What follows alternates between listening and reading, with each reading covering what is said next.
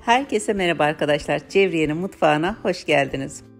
Bugün muhteşem bir brownie tarifiyle geldim.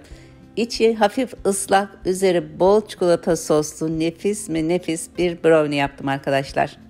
Herkesin yapabileceği kolaylıkta her evde bulunan malzemelerle yapıp hazırlayacağınız lezzeti mükemmel bir tarif.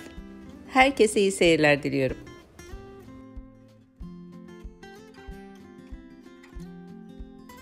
Önce pişireceğimiz tepsiyi yağlayıp hazırlayalım. Tepsiyi yağlarken mutlaka katı yağ kullanalım. Tereyağı ya da margarin olabilir. Katı yağ sürerken tepsi yağlamanın en pratik yolu bir kağıt havluyu 3-4 kat yapıp güzelce sürelim. Bu şekilde yaptığınız zaman tepsinin her yerini eşit bir şekilde yağlamış olursunuz. Tepsiyi yağladıktan sonra buzdolabına kaldıralım. Kek harcını hazırlayana kadar buzdolabında bu şekilde bekletelim. Tepsimizi de hazırladığımıza göre artık kekimizin yapımına geçebiliriz. Kekimiz için 4 tane yumurta kullandım. Kullandığım yumurtalar çok küçük olduğu için 4 tane kullandım ama 3 tane kullanmanız yeterli.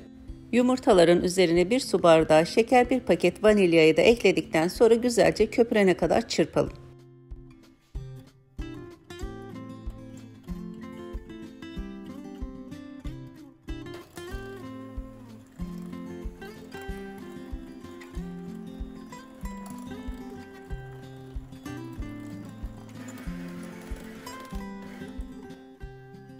Yumurta ve şekeri güzelce çırptıktan sonra sıvı malzemeleri ekleyelim. 1 su bardağı süt, 1 su bardağı sıvı yağ ekledikten sonra tekrar karıştıralım. Bu arada kullandığım bardak ölçüsü 225 miligramlık bardak arkadaşlar. Kullandığınız tepsinin kalıbın büyüklüğüne göre bardak ölçüsünü büyütüp ya da küçültebilirsiniz.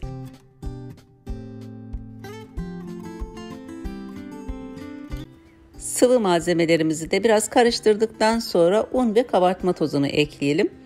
1,5 su bardağı un kullandım. Brownie'nin kek harcı biraz cıvık oluyor arkadaşlar. O yüzden çok fazla un kullanmıyoruz. Sadece 1,5 bardak eklememiz yeterli oluyor. Normal kek hamurlarından biraz daha cıvık ve akıcı olmalı. 1,5 su bardağı unumuzu ekledik. Üzerine 3 yemek kaşığı kakao ve 1 paket kabartma tozunu da ekledikten sonra pürüzsüz bir hal alana kadar güzelce çırpalım.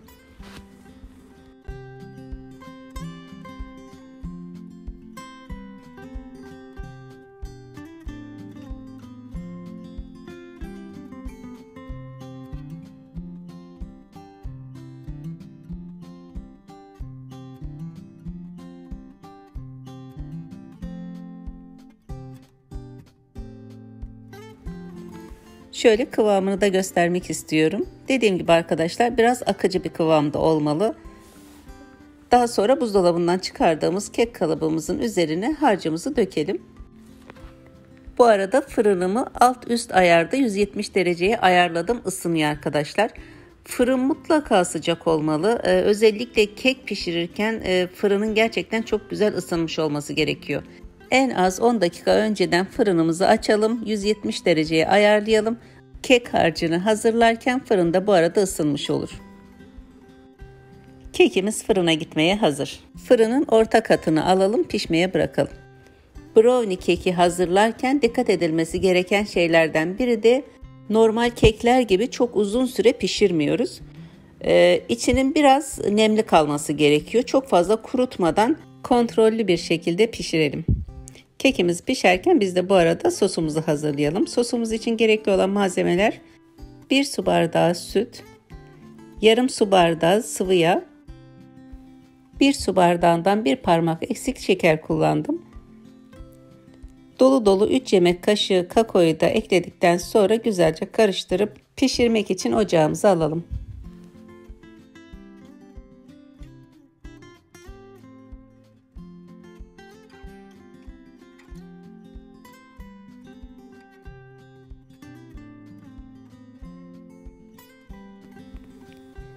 Ocağa aldıktan sonra kaynama noktasına gelene kadar sürekli karıştıralım. E, çok fazla pişirmiyoruz. Kaynama noktasına geldiği an ocaktan alıyoruz arkadaşlar. Sosumuzu ocaktan aldıktan sonra isteğe göre içerisine çikolata ekleyebilirsiniz. Çikolata eklediğiniz zaman sosun lezzeti çok daha güzel oluyor. Bu arada kekimiz de pişti sanırım. Ama önce kontrol edelim bir kürdan yardımıyla kekin birkaç yerine kürdanı batıralım. Kürdan temiz çıkıyorsa kekimiz pişmiş demektir. Alt üst ayarda 170 derecede 45 dakika pişirdim. Keki fırından çıkardıktan sonra 10 dakika harlı sıcağa gidene kadar bekletelim. Daha sonra dilimleyelim. Sıcak sıcak kesmeyelim arkadaşlar. 10 dakika dinlendirelim.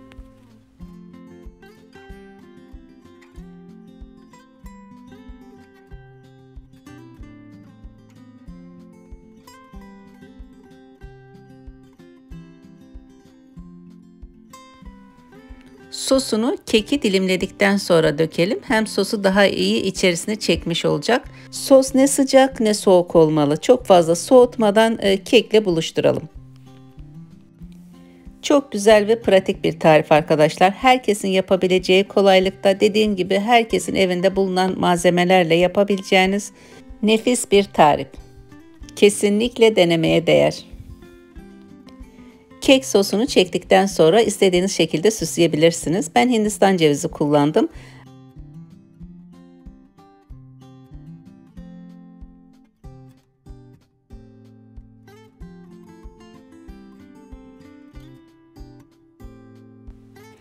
Elimde şöyle minik kurutulmuş güller vardı. Hindistan cevizlerinin üzerine e, birer tane onlardan koydum. Ee, bunları pasta süslemeleri için almıştım ama bugün e, burada değerlendireyim istedim. Artık süslememizi de yaptığımıza göre doku testine geçebiliriz. Şöyle bir dilim çıkartıp göstermek istiyorum. Gerçekten arkadaşlar e, kesinlikle denemeye değer bir tarif. Mutlaka denemenizi isterim. E, denedikten sonra da yorum ve düşüncelerinizi yazarsanız gerçekten çok sevinirim.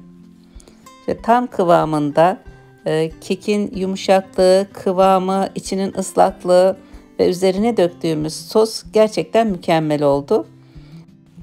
Evet bu güzellikle sizleri baş başa bırakıyorum. Bugünkü tarifimiz de brownie'ydi. Umarım sizler de beğenir ve denersiniz. Eğer beğendiyseniz beğeni ve yorum yaparsanız gerçekten çok mutlu olurum. Yeni tariflerimden anında haberdar olmak için abone olup bildirim zilini açmayı unutmayın lütfen. Başka bir tarifte görüşmek üzere. Hoşçakalın, sağlıkla kalın.